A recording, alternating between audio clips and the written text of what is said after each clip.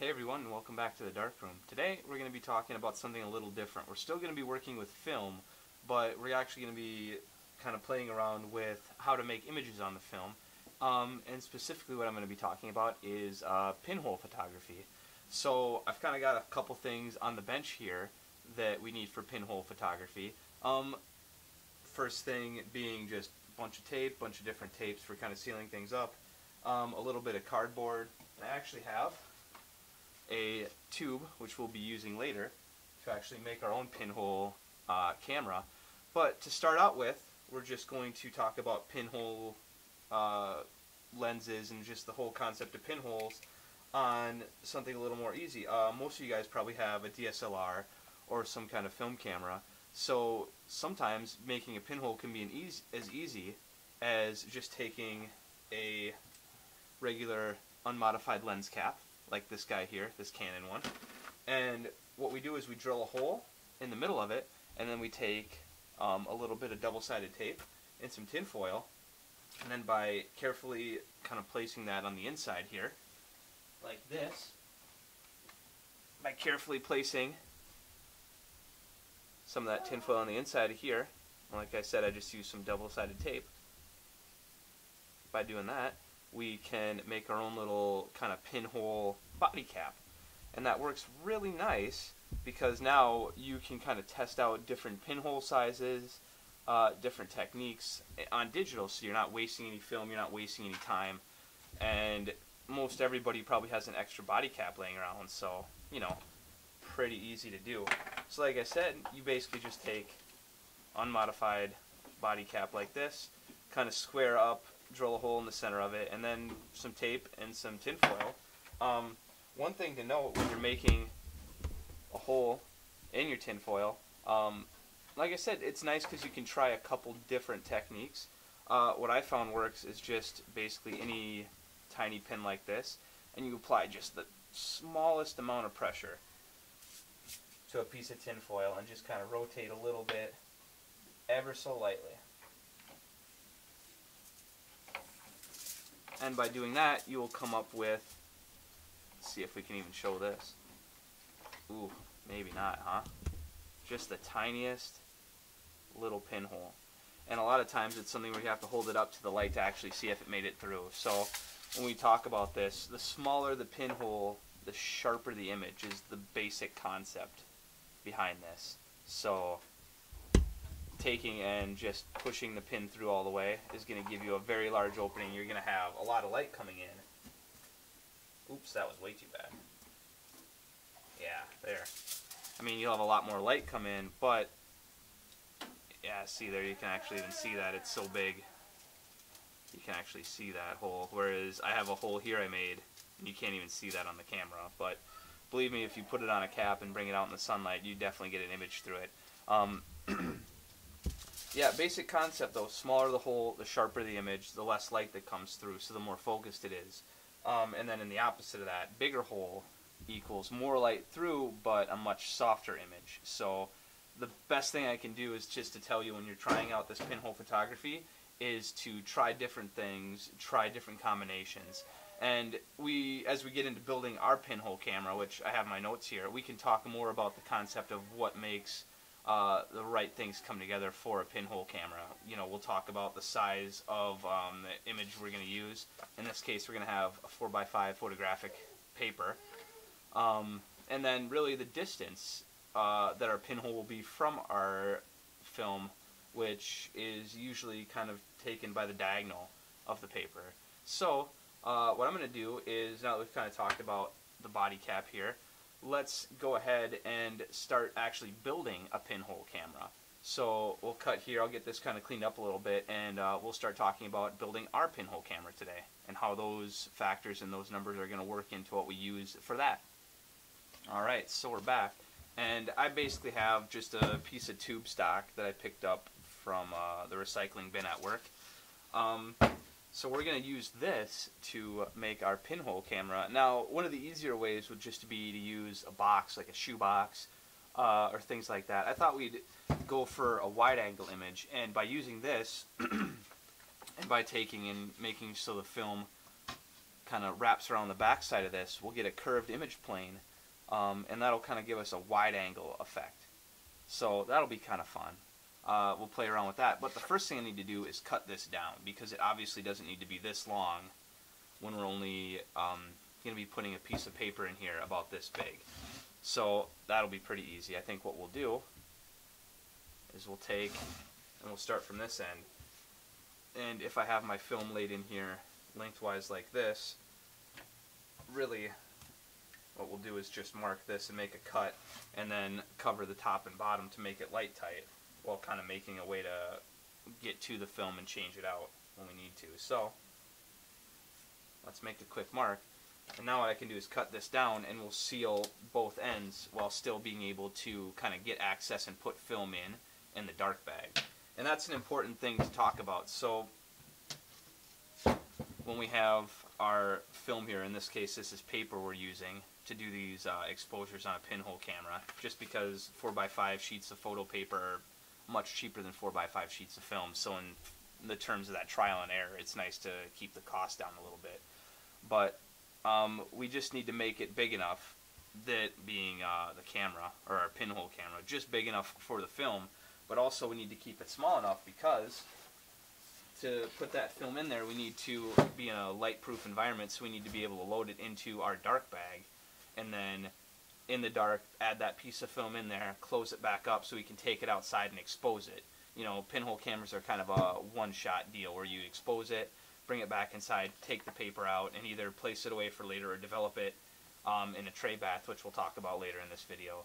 So one of the big constraints I'm working with is when I cut this down and create it, I still need to be able to fit it inside my dark bag. So a big big point there is making sure that it's big enough to fit inside uh, my device I'm using to put the film in there in a uh, totally light proof area. So uh, I'm going to go off camera and cut this down with the saw and then we can cut back and kind of start getting the top and bottom on here in a way that we can uh, switch out film and then we'll also drill a hole uh, for where the pinhole will sit with the piece of tinfoil we're going to put a hole in later. So let's cut away, uh, cut this guy down and then we'll come back and get going again.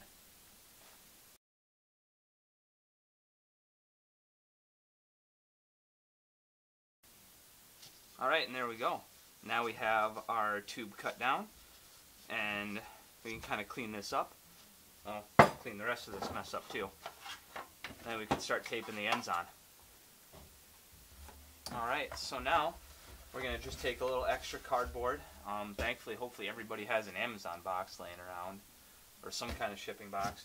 And what we'll do is basically just come up with a top and a bottom cap uh, for our camera here. So I'm just going to lay this out and trace it and then cut it out with my knife. We'll just make a second one and we'll have our bottom and top caps. And it'll be that simple.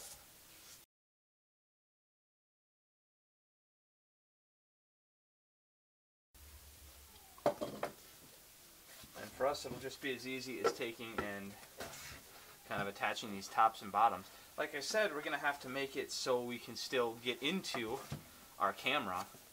So otherwise, how are we going to put in our film, uh, switch it out, and do all that fun stuff?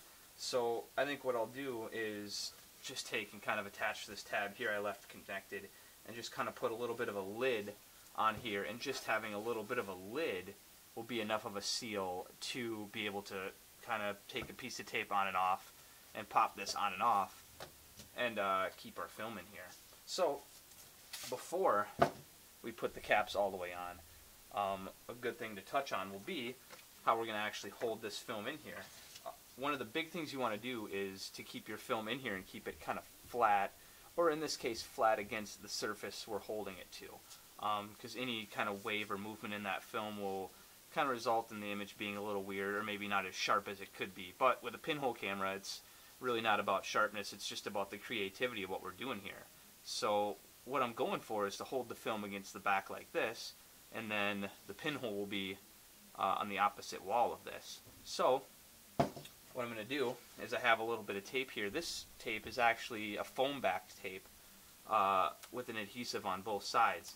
Uh, what I'm going to do is by just taking off half of that adhesive and laying it in here this way, I should be able to take and kind of hold the film inside that foam without it sticking to the tape and be able to kind of slide that piece of film in and out.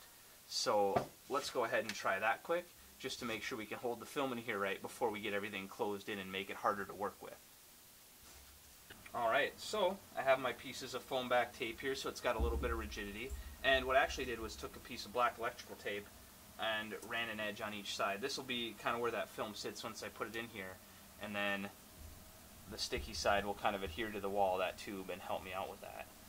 So, uh, the tricky part is here, we'll kind of try to mark this out and figure out exactly where we want this to sit. And then once we get that set, we'll use this to kind of figure out where to drill that hole on the other side so everything lines out well. So, best thing we can do here is just kind of make a few marks with a pencil, figure out what's straight and how we want that film to sit, and then we can lay those strips in there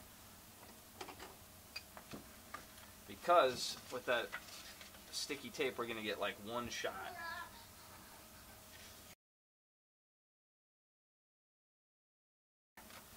And now we kind of have marks on either side so we can know where to place that tape in and work with it.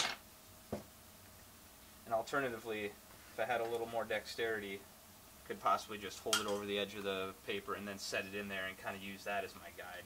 But we'll see. We'll kind of place this in here and see how this goes.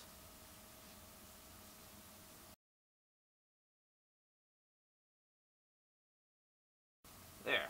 So now, we kind of have our film holders on either side. So, if we did this right, I should be able to take this piece of film, or this piece of paper, and slide it in here.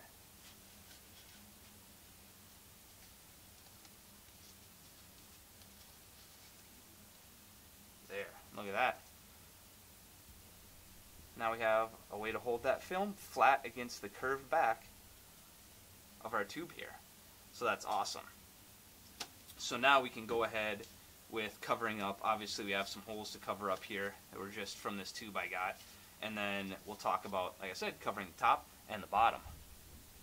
And then, once we have that done, we will basically be one step away from our pinhole camera. Uh, that last part of the pinhole camera will be obviously putting the pinhole into this camera. So let's take care of the top and bottom. Alright, so we got the bottom and the top onto this pinhole camera we're building. Uh, I went with the adage that if some is good, more must be better. And, you know, just kind of overdid it. And it's all in the purpose of making this light tight so you don't have any light kind of creeping in from the edges. Um, and we can probably even take and put like a wrap of electrical tape around the edge of this once we get our film loaded in and take it out in the daylight. But right now we have a pinhole camera without a pinhole in it. So, like I said, what we need to do is kind of look at the center of this film and then kind of draw some lines and figure out how or where to put the pinhole on this. So, big part of this is we'll need a tape measure and we'll first of all figure out the top and bottom distance here to figure out the exact center and then we will do a little math and try to figure out uh, really what is 180 degrees opposed from where we put our film back in. So we'll take some quick measurements. Um, I already measured this, so I already know that this is a 6 inch diameter tube. And I picked this, or I picked this size, because one of the cool things is when you're working with not only pinholes, but with lenses in general, um, there's some quick math you can do. Um, if you find the diagonal of the film, which in the case of a 4x5 sheet of film, the diagonal is 6 inches, you know, do your Pythagorean theorem. So when you're working with a 4x5 sheet of film and your diagonal is 6 inches, uh, what that basically translates into is that what would be a normal or an ideal focal length for that piece of film is always the diagonal of it. So in this case, 6 inches diagonal, 6 inches from the film to the focal point equals the ideal focal point. Um, you see this a lot in all cameras, obviously. If you look at 35 millimeter cameras, um, in a 35 millimeter camera, the distance from corner to corner works out to be right around that 50 millimeter range, which makes sense because some of the sharpest, uh, easiest lenses to make for the 35 millimeter camera range are those 45 millimeter, those 50 millimeter lenses that you'll see. So that's the big reasoning behind that. And obviously, it translates to all different film types. Uh, on medium format, I believe that the ideal size is 127. No, the ideal is 75. Um, so if you look at like the cross section of some medium format 120 films, usually that 75 mil seems to be that ideal distance. Um, and then, like we said, working up to 4x5, 4x5 is 127 millimeters. Um, and if you go and kind of gap that out, 127 millimeters, pretty close to 6 inches, uh, for those of you guys who are good at making conversions in your head. So, like I said, let's go ahead. We know that this is 6 inches across, so by knowing that it's 6 inches across, we can figure out the circumference of this, and then if we take the circumference of the 6 inch tube and then half that, we'll come up with a distance that is halfway from our film side to the front side here. And if we measure that from both ways, account for a little bit of error, we should come up with the opposite side of this without any problem. So let me go grab a tape measure quick and we'll play that game. Alright, so with a little quick math, remembering that circumference is pi times r times 2, um, we can come up with about 20 and a half because the outside of this is actually about six and a half inches. The inside diameter is 6. So with it being 20 and a half, we know if we take from the back and go about 10 inches, that should get us to the front. So if we measure that off quick,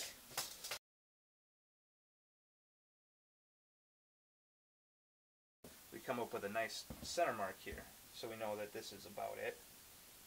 And then, like I said, what we want to do is go top to bottom on this so that we're centered on our image plane. So in this case, we also cut this at about 6 inches. So, ideally, we want this guy at about 3 inches here. So, there we have a pretty good point for the center of our pinhole. So now we're going to get to the point of, hey, how are we actually going to put a hole through this piece of cardboard? Um, That'll be easy for that. We're going to employ a little bit of power tools. And just kind of use a countersink head and just put a hole through here. Um, the size of the hole, not super important because we're actually going to be taking that piece of tinfoil, like I said, and using that as a thin material. Um, whenever we're doing any of this, you want to have the thinnest material possible to actually have your pinhole through. Because obviously what you're doing is focusing that light through a point. So you want that point to be as thin as possible, giving you the sharpest images possible. Um, also tying into that hole being as small as possible to focus that light down. So we'll talk about that a little more, but first of all, let's get this hole drilled.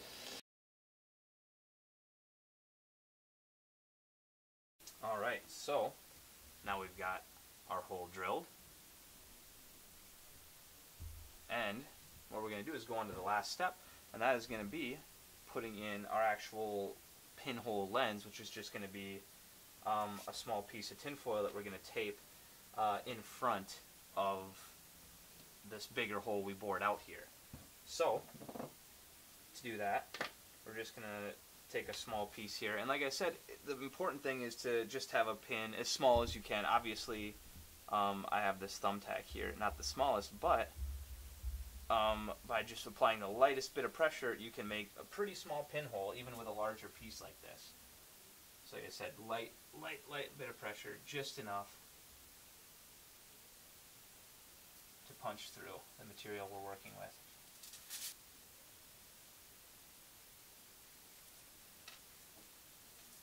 There. Like I said, you can't even really see it on camera. That's how small it is. But uh, when you're doing this, just by holding it up to the light, you'll be able to see whether or not light is making it through. And you should be able to see the tiniest bit of light coming through your pinhole. And uh, that'll be a good indication that you've done it right.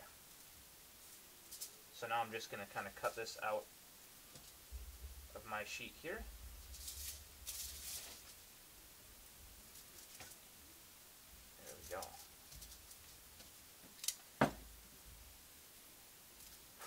then the tricky part will just be lining this up as best we can on the center and then uh, taping it in place. So.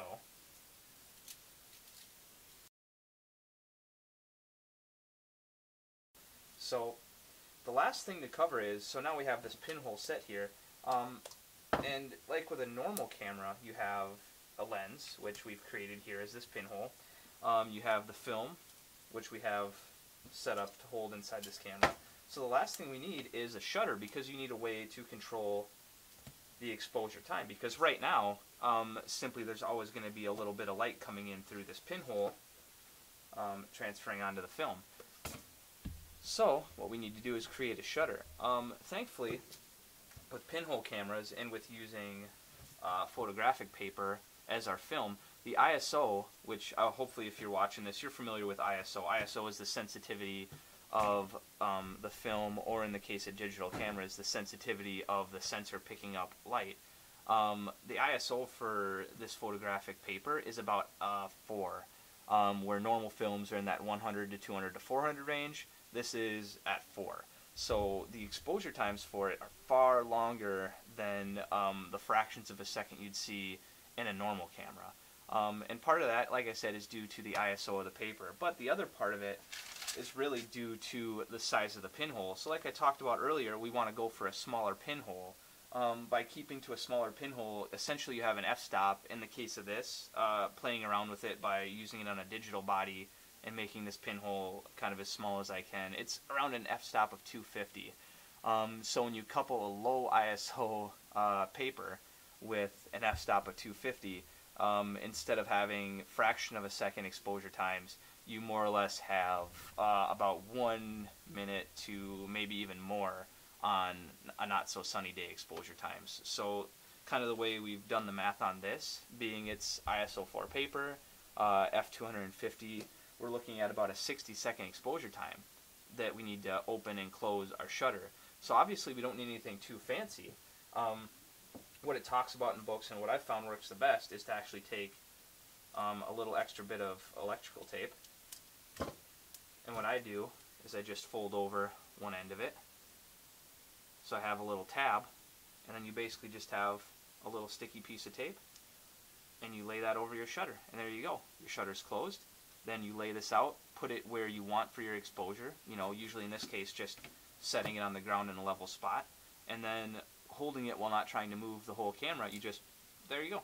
Peel off your shutter, stick it next to it, uh, stand there for a minute, two minutes, however long you need to do, and then once the exposure is done, you just gently take and place that back over. And there, boom, now you have an exposed image inside your camera, and you can take it back into your light bag, or your dark bag, and open this up and pull out your piece of paper and put a new one in. And there you go. That's a basic pinhole. So I think what we're going to have to do now is go outside and give this guy a test and see uh, how this worked out. See if our math is right. See if we get kind of a cool wide angle image from uh, putting that film on a curved plane. Um, there's a lot of other things we can try too. Obviously this is a little interesting with the curved back and the curved front. Um, another thing we can do, and I want to try, is just take and cut out a piece of cardboard and put it in as a flat back here so we can have this film be about three inches away from the shutter. Um, and we'll get kind of a wide angle image there because now we're putting the distance from the paper to the focus point about three inches. Um, and then just like a normal camera, when you do that, you give yourself a wider angle of view as that light focuses down in and then crosses onto the film plane. You'll get a wider angle of view, whereas with this one, you're getting a little narrower frame of view when you have it six inches away. Um, and that's hopefully something we can talk about in future videos when we dig a little more into how angle of view and how the actual uh, focus distance uh, on lenses work. But like I said, for now, let's load this up with a real sheet of paper instead of just this uh, test piece and take it outside and expose with it and then um, hopefully we'll cut back here and we'll go over how to develop this film, which is going to be tough because that has to be done obviously in a safe light environment. So having the camera and all the lights on isn't going to fly too well. But we'll basically just show kind of the images that come out of this. Um, you know, like normal, we'll cut to uh, the voiceover and the images and we can see how well this worked or didn't work. So, alright, let's take this thing outside and have some fun. So here's the pinhole camera just set up right now on a one minute exposure. Nothing too interesting, just some still life. So this is about the distance the camera is from the subject. Kind of see how it works out. Alright, so things might look a little different right now. Um, that's because we actually have the red light on. So technically this is the dark room while it is light safe. So the only light that I have is just one, uh, basically film safe Lightroom light. So it's just a red LED bulb. So that's what's lighting this entire scene right now. So it's going to look a little weird, but this is the only way I can actually film uh, what we're going to do here next in the darkroom. So, um, we have taken our pinhole camera. Uh, we went out and took a couple shots with it actually, um, all of them around one minute to one and a half minutes. So we'll have just a couple different scenarios here. So we'll have three shots to work with. So uh, we'll see what we can do. So like I said, we took a couple shots in the pinhole, pulled those out, and I have those in just a light safe box right now. Um, what we're going to do first here is pour out our chemicals into our trays. So just the same as how we do for uh, film developing, we're going to do for paper developing. We're going to have a developer, we're going to have a fixer, and then in between those over here, we have our stop bath. And our stop bath is going to be what kind of gives us that same stop between the developer and the fixer. Just like film. Um, paper developing is very similar to film. Uh, the times are a lot quicker and it's a little more interesting because hopefully uh, the reason I'm filming this part is we should be able to actually see the image as it comes in on the paper while we're developing it. So what I'm going to do is go ahead and pour in the chemicals and when we come back we will actually uh, pull one of the first shots out of our pinhole camera and we'll uh, toss it in developer and see what comes out. So let's stick with it. Alright, so we got our chemicals poured out, we have our developer and our fixer and our stop bath over here. So, we are going to take and pull out our first image, and now that we're under the safe light, this is good, so we have all of our white light turned off, including my external monitor that I usually use for focusing, so right now I just have the focus on my 51.4 just kind of locked on the edge of the trays here. So um, this won't be the most in focus thing, hopefully, but we'll try our best. And once we get this done, we can flip on some safe lights or some white lights once we're light safe against once this has been developed and we can get a little better look at the image. So when we're doing paper developer, it's the same deal. Obviously, we started by tossing our uh, negative into the fixer here. We're going to do 90 seconds on the fixer, so a lot shorter than uh, we normally do. Um, while we're doing this, one of the kind of weird things that we'll see here, obviously this will be a negative image on the paper, um, which normally when you're developing the paper you end up with a positive image because you're actually projecting a negative onto it uh, to expose it. So the nice part is I'll be able to just flip uh, the invert, or I suppose not flip, but invert uh, the image uh, on the video here. So what you guys will see will be a positive image, but what we're coming out of here will be a negative image. So as interesting or as boring um, as that seems to you. Uh, what you guys hopefully can see here is that there's some of an image starting to uh, kind of show up on the paper here. This is always one of the more interesting parts of getting to do your own developing is kind of watching uh, an image kind of take shape out of the developer. Um, you can see on the edge here there's going to be these white sections and that's where we had our film kind of held to the uh, curved wall of our pinhole camera.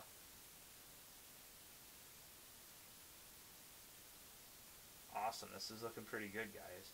Um, also, like I said, this was a curved pinhole camera, so we're going to get more of a distorted, wide angle, almost fisheye image out of this, was the idea. Um, like I said, a lot of pinholes, just straight standard shoebox, you know, piece of film at the back, and you'll end up with a pretty uh, standard looking image. But, I mean, hey, we have tons of film cameras and all sorts of other cameras to get normal images out of. So if you're going to go weird with a pinhole, might as well go all the way weird.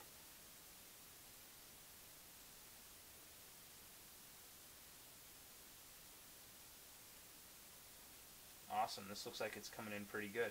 Um, like I mentioned earlier, I did one minute exposures for all of these, and like we talked about earlier in the video, um, that one minute exposure time is based off the ISO 4 speed of this paper film, uh, coupled with the F number for our pinhole, which, like I said, we're estimating it at about F250.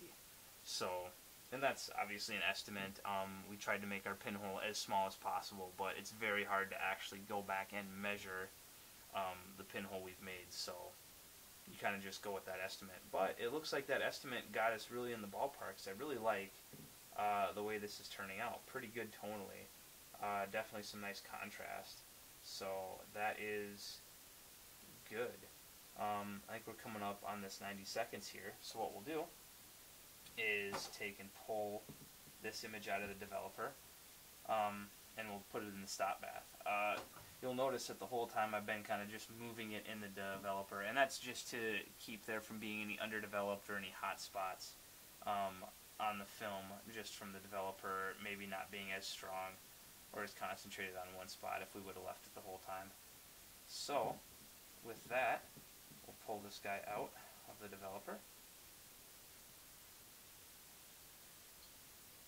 Let it drip off there. And we'll move it over to our stop bath before we go and put it to the fixer.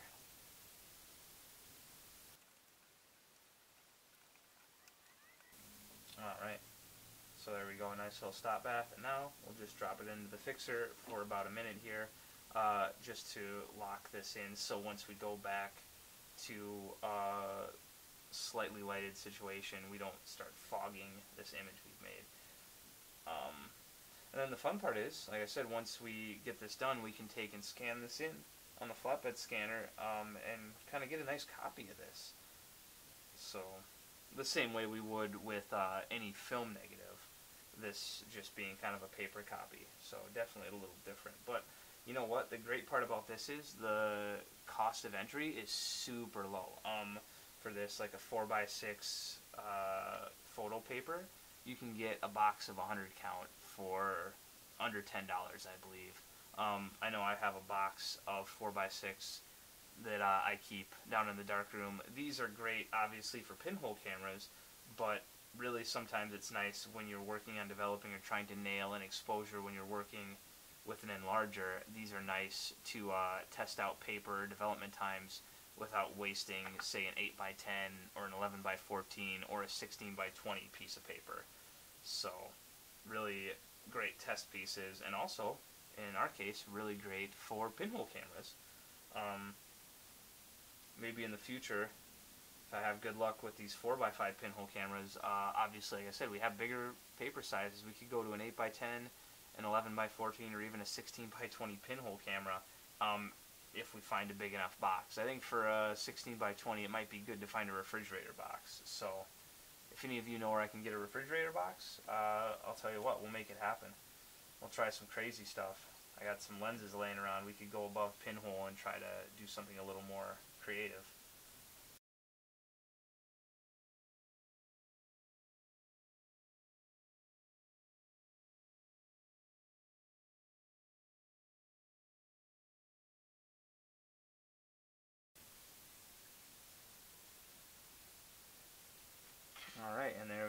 Third image done. So, toss that into the stop bath. Alright, I'm going to take and put away these chemicals because now we're done. We've developed all three of our images. So we can put away these chemicals, turn back on our normal lighting, and get a closer look at what we actually developed and talk about it a little bit. Alright, so here are our images. Um, they turned out really well. You can tell the size of our pinhole was small enough where you actually got really good detail um, out of this camera. Um, also, like I talked about in this video, the curved back kind of gave a really interesting view. Um, I want to talk more about all this and kind of the math that goes into what makes the pinhole work or what gives the pinhole these certain styles. Um, but instead of talking about it in this video, I'm going to go ahead and actually do a part two uh, pinhole camera deep dive video. So keep an eye out for that. And in the meantime, thanks for watching.